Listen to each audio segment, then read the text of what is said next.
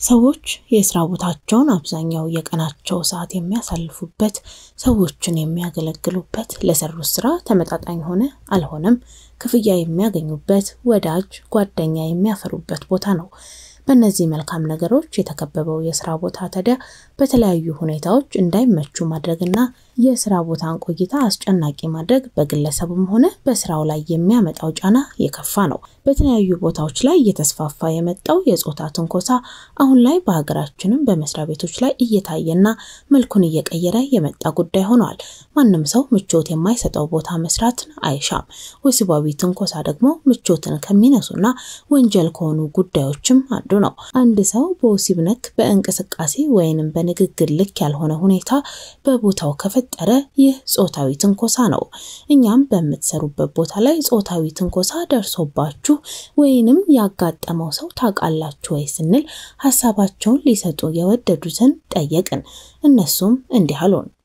የሰማሁትን ልንገርሽ እንጂ ብዙ አልገጠመኝም እንደዚህ ነገር። ግን አሁን እኛ ጨርሰን ተበታተንን እና ዩኒቨርሲቲ ላይ ነበር የጨረስ ነው በየሀገሩ አይደለ የመጣ ነው የምንበታተነው እንደዛ ነው። እና የአዲስ አበባ ላይ የተወሰኑ ልጆች ነበር እና ለ interview ሄደው ነበር የሆነ ቦታ interview ስትሄጂ አለባበስሽን አስተካክለሽ ምናምን dressing style ሁሉ ነገርሽን እና ፈታኞቹ interview request ሲያደርጉ ጥያቄ ሲጠይቁ የነበሩት ወንዶች ነበሩ አጋጣሚ እና ሴቶ ወንዶችም ነበሩ ሴቶችም እንትኖቹ ማለት ነው ተፈታኞቹ ገቡ። ከዛ እሷ ፈርታ ፈርታ ፈርታ መጨረሻ ላይ ቀረች።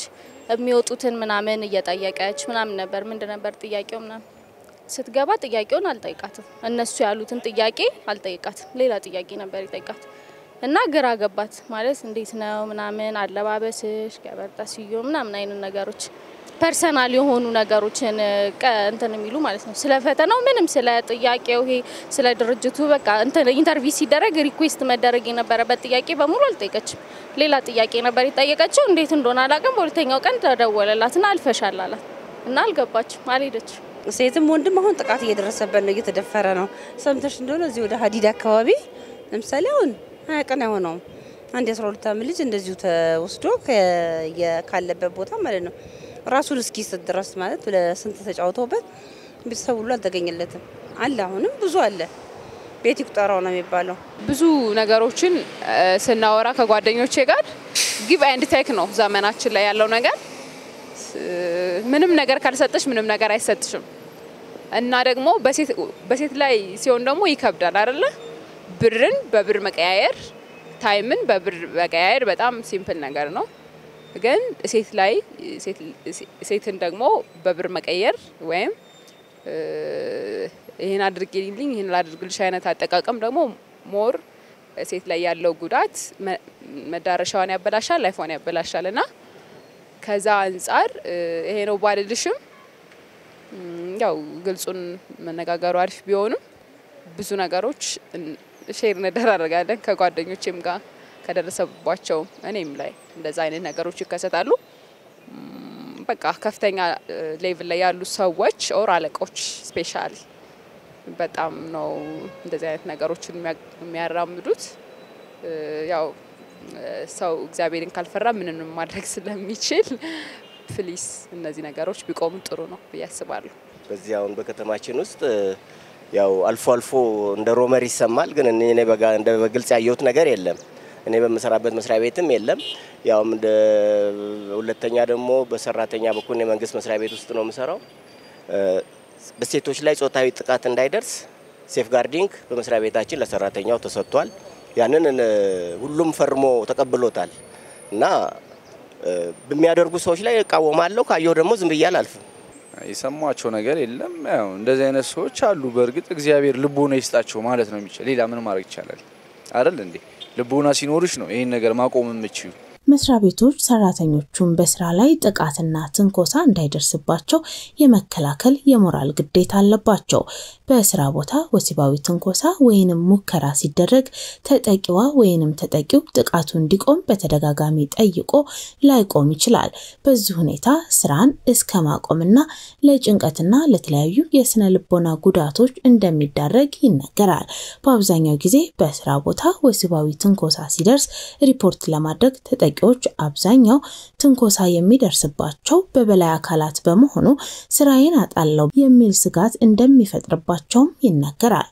ነገር ግን ጥቃቱን ለማስቆም ባለው እንቅስቃሴ ውስጥ ትንኮሳ የደረሰባቸው ሰዎች ለሚያምኑት ወይም ለሚቀርባቸው ሰው ከመናገር መጀመር እንዳለባቸው ጥናቶች ያረጋግጣሉ። ወሲባዊ ብዝበዛ፣ ጥቃትና ጾታዊ ትንኮሳ የሚከሰተው ሰዎች ግለሰባዊ ስልጣናቸውን ያላግባብ ሲጠቀሙ ነው። በተለያየ መንገድ በችግር ውስጥ ያሉ ቡድኖች አንዳንድ ጊዜ ወሲባዊ ብዝበዛ፣ ጥቃትና ጾታዊ ትንኮሳ ያጋጥማቸዋል። በወሲባዊ ብዝበዛ፣ ጥቃትና ጾታዊ ትንኮሳ በአብዛኛው ተጠቂ የሚሆኑት ደግሞ ሴቶችና ልጃገረዶች ናቸው። እኛም በድጋሚ አስተያየት ሰጪዎቻችንን ተቀጥረው በሚሰሩበት የስራ ቦታ ላይ ብቻ ሳይሆን ገና ከጅምሩ ስራ ለማግኘት ጾታን መሰረት ያደረገ ወይንም ትንኮሳን መሰረት የሚያደርጉ ሰዎች መኖራቸውን ታዝባችሁ ታውቃላችሁ ወይ ስንል ጠይቀናል። በስራ ባልደረባ ዙሪያ የሚደርሱ ጥቃቶች specially በሴት ልጆች በጣም ደስ አይልም። በእውነት ብዙ ሴቶች መድረስ ያለባቸው ደረጃ ላይ ሳይደርሱ የሚቀሩት specially ደግሞ ካለቆቻቸው ጋር ባለበት ካለቆቻቸው ጋር በተያያዘ መጥፎ ነገር ይደርስብናል እና ይሄ ነገር እንደውም አጋጣሚ ዛሬ እድሉ ያገኘሁት በምክንያት ነው ብዬ አስባለሁ። ብዙ ጊዜ specially እራሴም ላይ ደርሶብኝ ያውቃልና በቃ መንገድ ዘጊዎች ናቸው። specially አለቆች ሴቶችን በመፈለግ የሚያደርጉት መንገድ መንገድ ዘጊዎች ናቸው ብዬ ነው የማስበው። ሴት ልጅ በራሷ ማድረግ የምችለውን አቅሟን potential ኧን እንዳትጠቀም የሚያደርጉት እነሱ በእርዳታ stuff ማለት በጓደኝነትና ይሄን አድርጌልኝ ላድርግልሽ አይነት ነገር ውስጥ ነው የሚያልፉት። ሴቶች ደግሞ አማራጭ እያጡ የሚገቡበት መንገድ ሊኖር ይችላል። በጣም ከባድ ነው። ምንድነው ታውቂያለሽ፣ አለቃሽ ምናምን ሲሆን ደግሞ ተደማጭነት የለሽም አንቺ።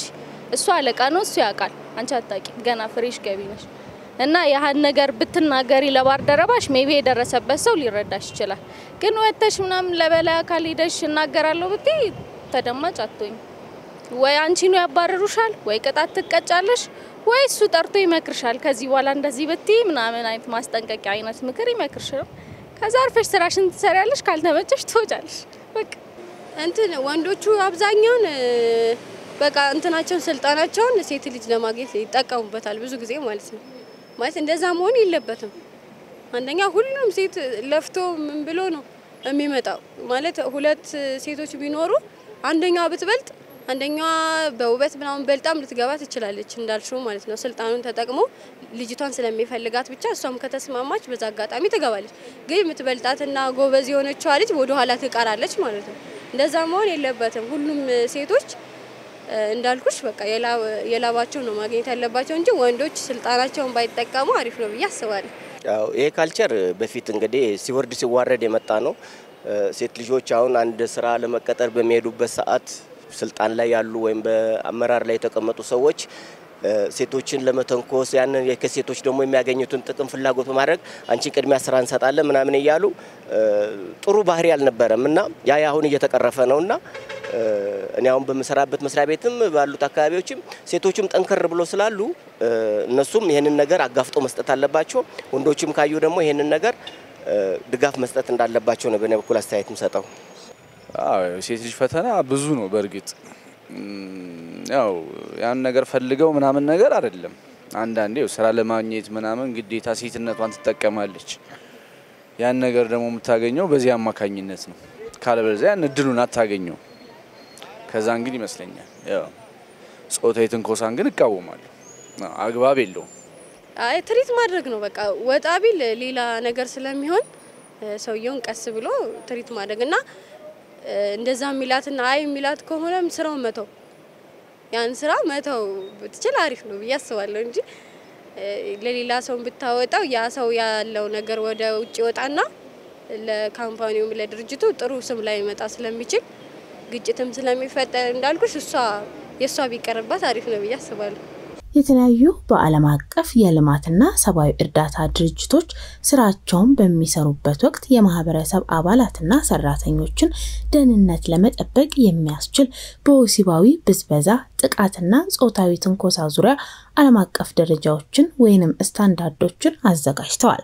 እነዚህ ደረጃዎች ተግባራዊ ማድረግ የልማትና የሰብአዊ ድጋፍ ስራዎችን ለሚያከናውኑ የሲቪል ማህበራት ድርጅቶች አስፈላጊና ጠቃሚም ነው።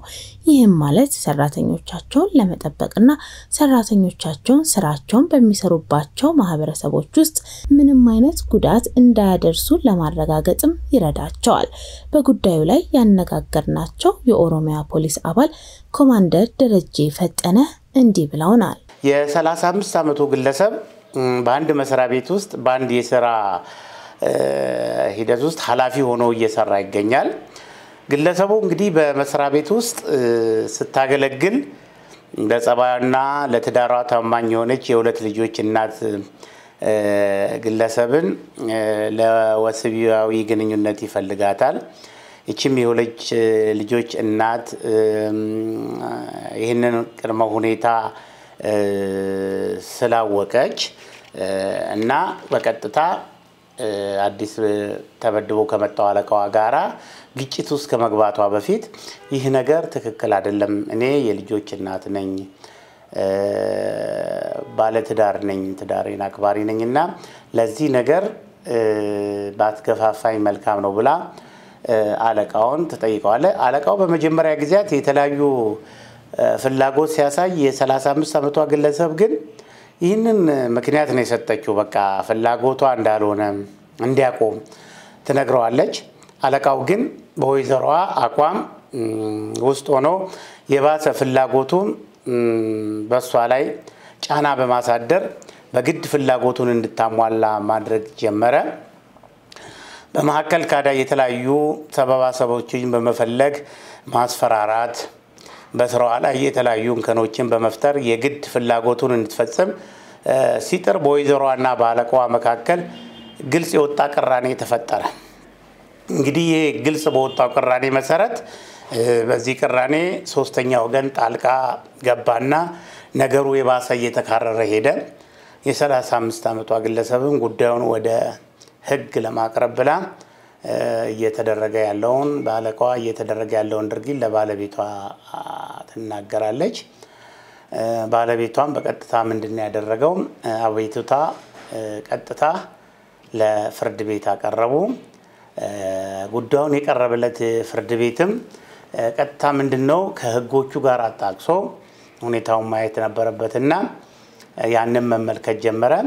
በዚህም በፌዴራል መንግስት ሰራተኞች አዋጅ ቁጥር 1064 ህዝባር 2010 አንቀጽ 70 እና 13 እንደዚሁም አንቀጽ 69 በተደነገገው መሰረት እንግዲህ ይሄ ጉዳይ በከባድ የዲሲፕሊን ቅጣት በማለት የሚያስቀምጠው በመሆኑም ፍርድ ቤቱም ይህንን ነገር ሙሉ በሙሉ በማስረጃ በማረጋገጡ ይሄ እንግዲህ አለቃ የተባለው ላይ ሁለት አመት በሚደርስ ለሁለት አመት በሚደርስ ጊዜ ከደረጃው ካለበት ደሞዝ የሶስት ወር ደሞዝ እና እንደዚሁም አሁን ካለበት የስራ መደብ ዝቅ ብሎ ለሁለት አመት እንዲሰራ ወሰነበት። ይህ ድርጊት ተደጋጋሚ ሆኖ ችግሮችን ለመፍጠር ከሞከረ ከስራ እስከ መሰናበት የሚያደርሰው ውሳኔ በገደብ ፍርድ ቤቱ አስቀመጠለት። ግለሰቡም በዚሁ በስራ ላይ ወሲባዊ ትንኮሳ ከነበረበት የስራ ኃላፊነት ወርዶ የሶስት ወር ደሞዙን ተቀጥቶ ያው እንግዲህ በገደብ የተቀመጠለት ይህን ተመሳሳይ ድርጊት ከእንግዲህ ወዲያ ከፈጸመ ከስራ እስከሚሰናበት ድረስ ፍርድ ቤት ውሳኔ ያስተላልፎላታል ማለት ነው። እዚህ ላይ እንግዲህ የጾታዊ ትንኮሳ የሚያስከትለው ተጠያቂነት በግልጽ የተቀመጠ በመሆኑ በዚህ ድርጊት የሚነሳሱ ሁሉ አግባብ ባለው የወንጀል ሕግ የሚያስጠይቅ በመሆኑ ከመሰል ድርጊቶች መቀጠብና ድርጊቱም ተፈጽሞ እንዳይገኝ የበኩልን መሟጣት ያስፈልጋል። አለበለዚያ ግን ነገ ሌላ ነገር ይመጣብኛል ብሎ ከስራ አባረራለሁ፣ ከስራ ዝቅ እደረጋለሁ የሚሉ በስራ ላይ የሚመጡ ጫናዎችን በመፍራት ብቻ አላስፈላጊ ነገር ውስጥ መግባት አያስፈልግም። ወሲባዊ ትንኮሳ በትክክለኛነት በሕግ እንደተቀመጠው በስራ ላይ ያለ ወሲባዊ ትንኮሳ ወንጀል በመሆኑ ማንኛውም አሰሪና ሰራተኛ ከአለቃው ጋር ሰራተኛው ጋር አለቃው መልካም ግንኙነትና በስራ ላይ የተመሰረተ ግንኙነት ማድረግ ብቻ ይጠበቅበታል የሚለው መልእክት የዛሬው መልእክታችን ነው ማለት ነው። ዓለም አቀፍ ደረጃዎች ወሲባዊ ብዝበዛ፣ ጥቃትና ጾታዊ ትንኮሳን በተመለከተ በዓለም አቀፍ ደረጃ የወጡ ደረጃዎች አምስት ሲሆኑ የዓለም አቀፉ ማህበረሰብ ሁሉም ድርጅቶች የልማትና የሰብአዊ እርዳታ ስራ በሚያከናውኑበት ጊዜ እንዲጠቀሙባቸው ያበረታታል። መንግስት በማንኛውም የስራ ሁኔታና ጥቃትና ትንኮሳዎችን ለመከላከልና ለማስወገድ ህጎችና ደንቦችን ማዘጋጀት አለበት። አሰሪዎች በዚህ ጉዳይ ላይ በስራ ላይ የሚደርሱ ጥቃቶችና መመሪያዎችን ማውጣት አለባቸው። ሴቶችና ሌሎች ለጥቃትና ትንኮሳ ተጋላጭ የሆኑ የህብረተሰብ ክፍሎች ደህንነታቸውን ለማረጋገጥ ተጨማሪ ድጋፍም ይፈልጋሉ። ማንኛውም ሰው ጥቃት ወይንም ትንኮሳ ካጋጠመው ግን ለፖሊስ አካል ሪፖርት እንዲያቀርብና ድጋፍ እንዲያገኝ አስተማማኝ ሚስጥራዊ የሆነ የግንኙነት ስርዓት ሊኖር እንደሚገባም ጥናቶች በሰፊው የሚጠቁሙት ጉዳይ ነው።